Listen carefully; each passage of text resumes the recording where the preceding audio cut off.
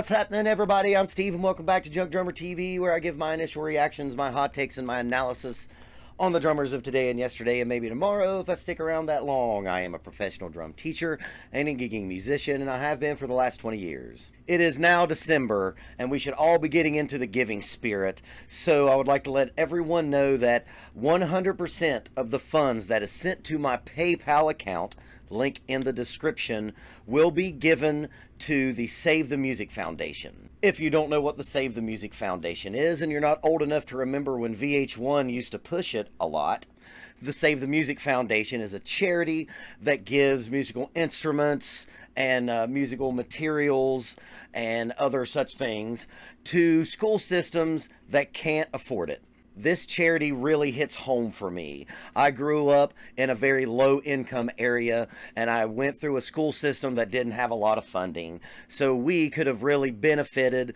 from something like the Save the Music Foundation. Actually, when I posted this on my Facebook, I found out from the band director of my old high school that my old high school actually received a grant. And I didn't even know that when I decided to make this. So again, 100% of the donations made to me December 2019 will be sent to the Save the Music Foundation. I'll, of course, put the receipt on my community tab just to let you all know that I'm not scamming and that will be the uh, I'll do that after the first of the year. On today's episode we're going to be watching Ray Luzier play with Korn. I know Korn fans, David Silveria, obviously, and I will get to him. Unfortunately, when I was researching to find a video, uh, because of when he ended his tenure with that band, which is like 07, 08, I think, there's not a lot of good video that really focuses on him. I will find something eventually, I promise. But until then, let's check out Ray Luzier. Korn is a band that started a genre. Well, okay, them, Rage Against the Machine, maybe the first Deftones, a couple Deftone records, maybe, but they are the kings of new metal, and that's right, I pronounce the umlaut. What they did made all the sense in the world. They combined funk, hip hop beats with heavy music and not really rapping. I don't really think of like Korn as like a rapping band like Limp Bizkit. Ugh, Limp Bizkit sucks.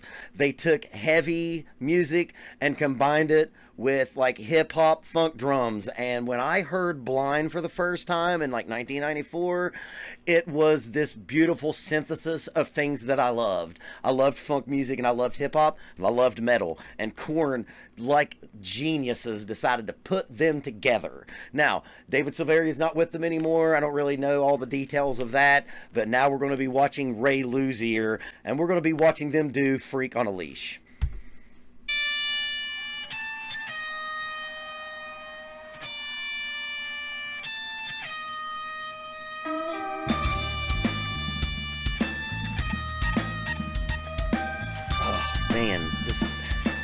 Always thought this sound just seemed like it was going to happen.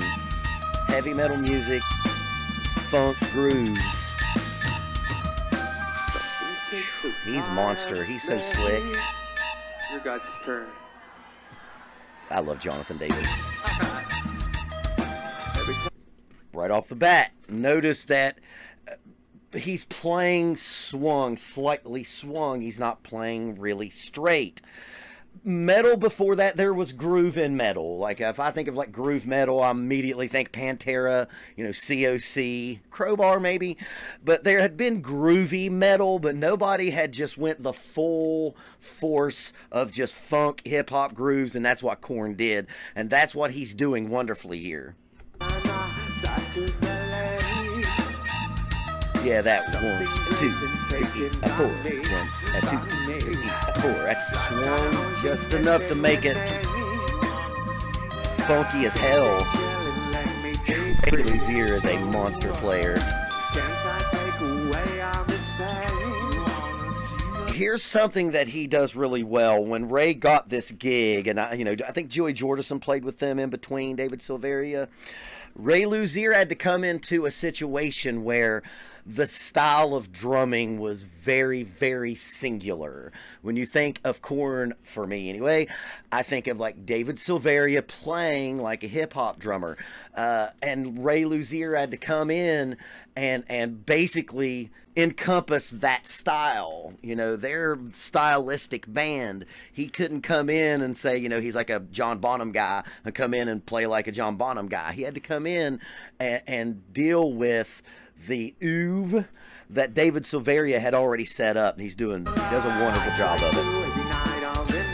Yeah, all those ghost notes and stuff, man.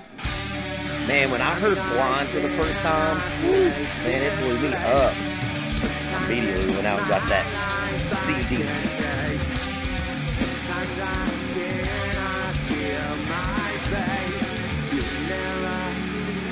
Yeah, man, you know, he's technically I'm going to catch a lot of shit about this. Silveria's the man, but he's more technically proficient than David Silveria. Okay, this groove right here. Now I get to talk about another band, and I love uh, trying to figure out uh, a, a band's influences. This groove right here, and I always thought that David Silveria was very influenced by him and that band and it is a band that does not get enough love because I think that they are one of the most influential bands of the last 30 years.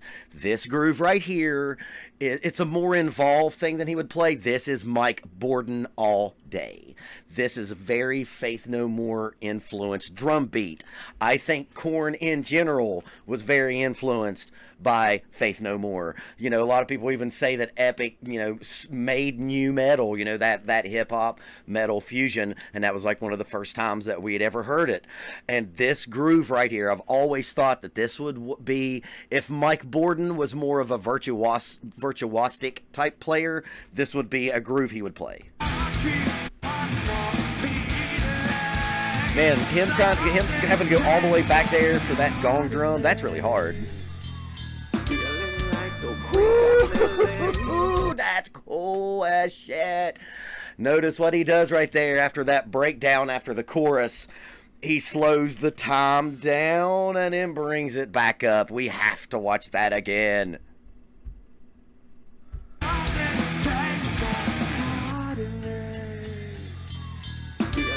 Then brings it back in. Like right there, that, that drum fill you know, I know that's not much of a drum fill, but the, a one, you can hear how swung that is. That's not a one, but uh, you know, all the drum fills and all the fe- the groove, uh, the rhythmic feel of everything he's doing has that feel into it. You know, the the the bass the bass pattern of this is you know, one, two, three, four. Now, if you were to play that straight, that would sound like this: one, two, three, four. But because he's swinging pretty much the hell out of it, especially right here. One, two, three, four. It's it's a hard groove to keep consistent.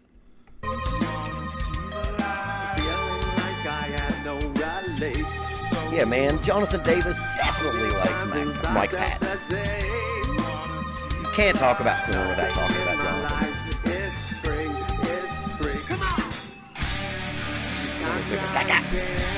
Uh, like the way he ends that drum fill, and ends on that three and a four E on the E. That's just syncopated heaven. Instead of stopping on those real strong downbeats, uh, stopping on those E's and U's. I think it's sexy.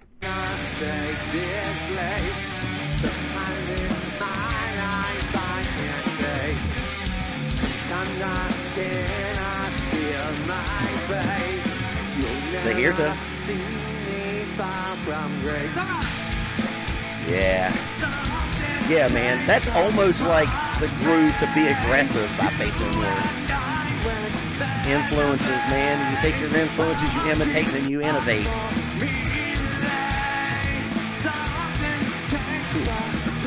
Mr. Ray Luzier.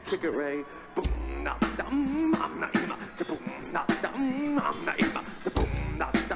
Okay, that's a subtle little cool thing that he's doing right there. Sound production.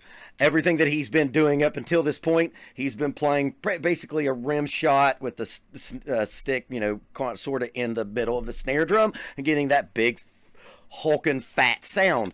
Right here on this breakdown, notice he takes the stick and he brings it farther back here and moves it back to the to the rim and he gets a, a, a more high ping sound. Listen to the sound right here that when he comes back in and how much different it is from the snare drum sound before sound production. I talk about that a lot. If you're one of those drummers that just thinks of here's a sound, here's a sound, here's a sound, here's a sound. And you don't think about how you can coax different tones out of each drum with your uh, technique and the way that you hit accents and taps. You are handcuffing yourself to just have, you know, if you have a one up, one down, you've got, you know, with the bass drum, you got four different sounds. But if you can think like this, every drum has a different sound that you can produce. Check this out when he comes back in and hear how much different the snare drum sounds here. Yeah, see, he's moved that back and he's getting more of like, you know, that high pingy sound that you get when you're back here on the snare drum. When he comes back in, and now he's to that big fat sound right there. I love that Jonathan Davis does this. It's just lunacy. It's insane.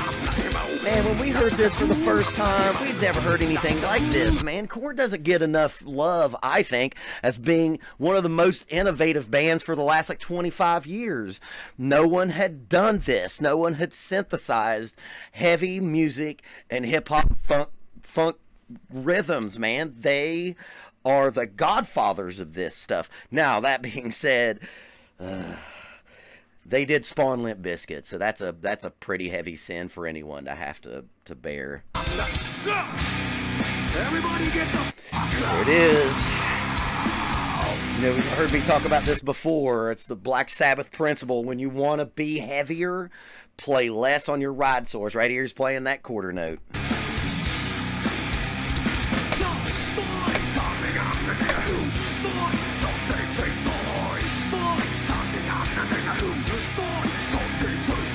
Something for the fans to see him stick flip. Unfortunately, a lot of fans will be like, oh my goodness, he's sticking, flipping his sticks. Not realize that they're not, yeah. ah, I love that little interlude right there. That's so cool. Uh, but you what I was saying? Like, you know, uh, non-drumming fans sometimes don't get it. There'll be people go home like he was flipping his sticks. It was so cool, and they won't realize that they're seeing one of the baddest drummers in the world play. I got to bring that back. I love this little interlude where he plays on this cymbal stack over here. Make sure I go back far enough.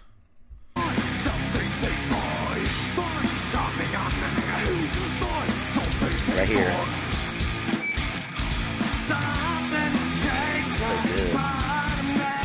I was in a band with a guy who had been signed to Interscope, and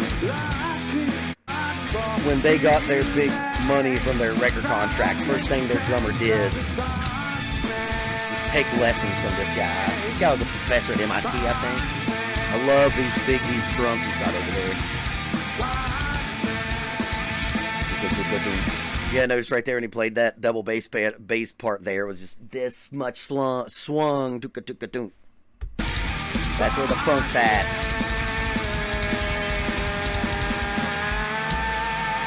You gotta catch it. Yes. Yes. Yes. When you do the big stick flip like that, man, you better catch that shit. Whoo! Ray Luzier, a perfect example of being, you know, first a hired gun and then a, a member of the band, and coming in and encompassing the style, the really heavily stylized drumming of David Silveria, and make it your own. You know, this is a band that, like, if you come in and you play Korn, you have to be you have to be a Korn musician. You know what I mean? You like I said, you can't come in and be like, I'm a prog dude. I'm gonna play all my prog shit. Can't do it. You have to play in that sandbox that David Silveria set up, and Ray Luzier does it beautifully.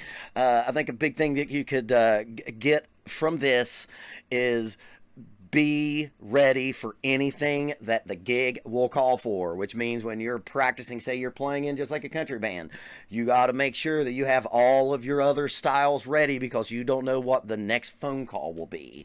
I know one of the gigs he had before Korn was like David Lee Roth, and there are no two styles of like, you know, music drumming wise different from like DLR, who was probably playing like Van Halen tunes and, you know, DLR uh, solo stuff to this, which is like, it's like, like this style is like if if if Brother Questlove and Mike Bordin had way more chops.